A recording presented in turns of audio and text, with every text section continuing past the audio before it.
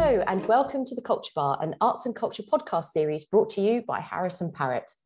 In our Speed podcast mini series of quick insights into music and culture from around the world, we talk to music industry professionals about the music of their homeland to give us a view into different music composers, sounds, and instruments which make music both unique and universal.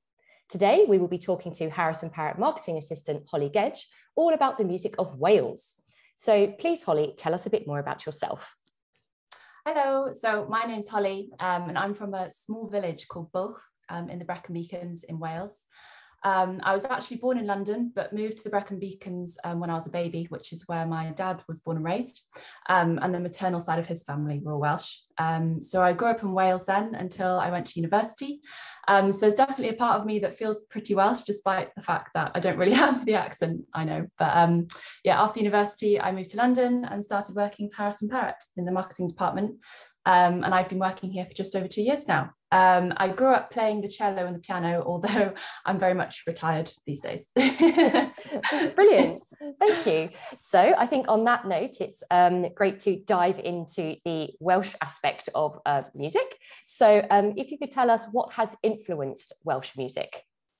Yeah, of course. So Wales has a very strong and distinctive link with music. Um, and I would say there are probably two main influences um, on this, and that would be culture and history um, in Wales. So, in terms of Welsh culture, um, the Welsh have two great passions, which is rugby and singing. Um, singing, especially, is a significant part of Welsh national identity, um, and Wales is often traditionally referred to as the land of song. Um, if you congregate the Welsh at a rugby match, you literally won't be able to stop them breaking into song. Um, and I think this passion comes from a sense of shared history, um, identity, and nostalgia as well. Um, the Welsh are incredibly patriotic, and this most certainly influences their, their music. Um, and I think the culture of the Eisteddfod also has a great influence on Welsh music. So the Eisteddfod um, is an annual unique festival um, in Wales that provides a, a, stage for competitions in music, dance, poetry, and the visual arts. Um, and it's usually held through the medium of Welsh. Um, and these can take place at sort of primary school level, secondary school level, all the way through to regional and national level. So I remember we used to do them um, every year in my primary school on Dydd Gŵyl Dewi Sant, which is St David's Day on the 1st of March. Um, and we all used to dress up in our little Welsh costumes, um, sing our hearts out in Welsh and dance to Welsh folk music as well. So it's almost like drummed into you that as a Welsh person, you have to sing from a very young age, which is lovely, I think. Um, so I think this, the sense of patriotism that the Welsh have combined with the culture of promoting music and singing from such a young age has had a huge influence on Welsh on the Welsh music scene. And as a result, I think Wales is proud. We've got a lot of very um, famous, well-known singers. Obviously, Sir Bryn Terfel, the opera singer, Sir Tom Jones, of course, can't forget him. Um, Katherine Jenkins, Dame Shirley Bassey, Shakin Stevens, and then bands as well, such as Stereophonics and Catfish and the Bottlemen. Um, so that's the culture. And in terms of Welsh history, quickly, the mining industry in South Wales I think has strongly influenced the Welsh male voice choir tradition. So the South Walians were and continue to be incredibly proud of their mining heritage. Um, and the industry was notoriously difficult and dangerous to work in throughout the sort of 19th and 20th century. Um, and these mining communities, I think, probably found solace and, and sociability um, in singing. And this ultimately led to the tradition of male voice singing and choirs. And it's still a huge, huge part of Welsh music culture today. Fantastic. And that's a really great way to learn about Welsh history and culture through the music, actually. it's a really amazing way to think about it. Um. So, uh, leading on from that, really, um, what sounds um, define Welsh music? Um, so I think probably harmony and part singing um, is a very defining Welsh music sound. Um, and I think an example of, of harmony and part singing can be heard in, in those Welsh male voice choirs that I mentioned just now. So for example, Treorchy Male Voice Choir, it's probably one of the best known male voice choirs from the Rhondda Valley in South Wales. Um, their sound is so distinctively Welsh um, as the choir's roots are sort of steeped in the history of, of Welsh mining heritage.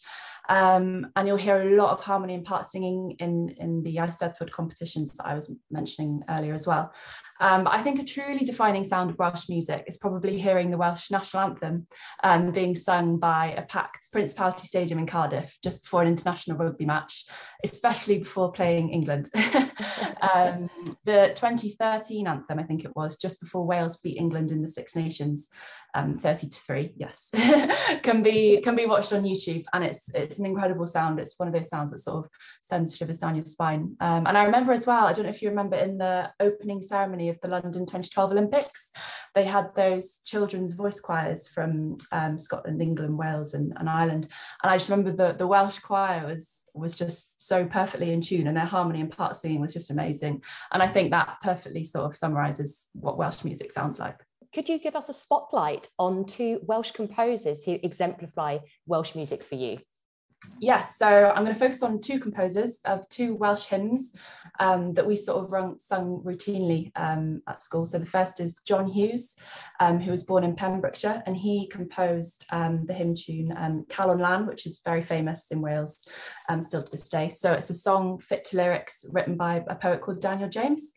and I love the lyrics of the first verse. I didn't actually know the translation until I researched it. but in Welsh, the first verse is Neitho'n gyfyn, bywyd moeddus ar y byd neu belai man, gofyn oif am galon hapus, calon honest, calon lan. And that translates in English to, I don't ask for a luxurious life, the world's gold or its fine pearls.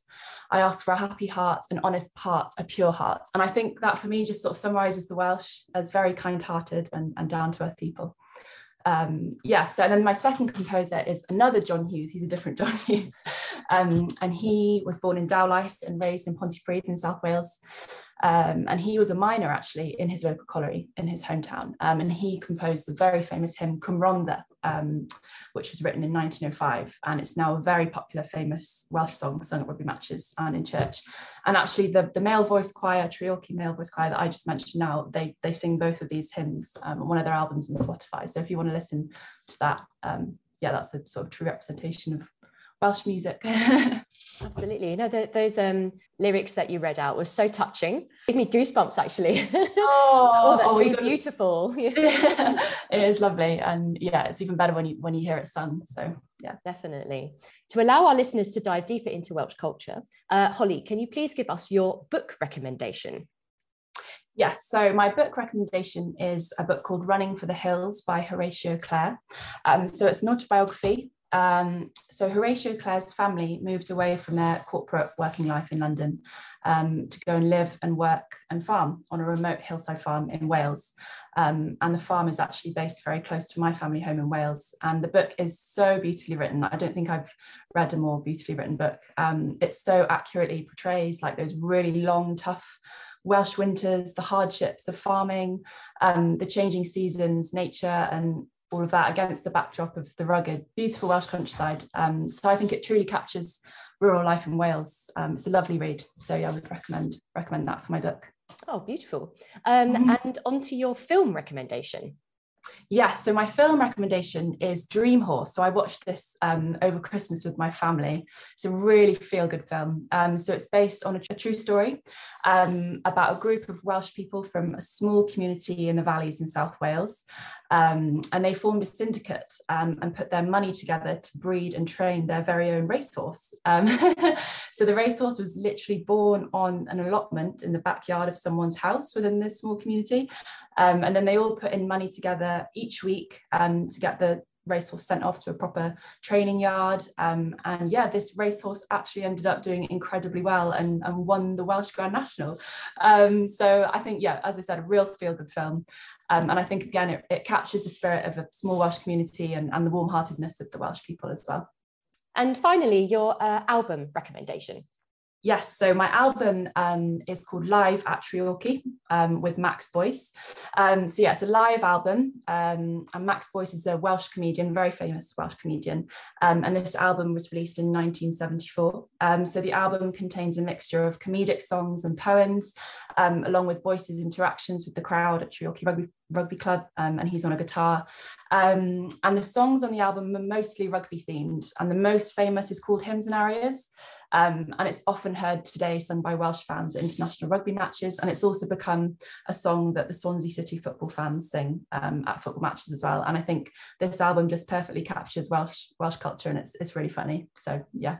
that sounds great. That's such an interesting mix for an album as well, you know, kind of like yeah. comedy, music, and kind of, yeah, uh, it's almost like a variety act on an album. Yeah, sounds amazing. Yeah, it's it's exactly that. Yeah, it's really good fun. Fantastic. Well, um, thank you very much for joining us today, Holly. Uh, thank you very much for having me.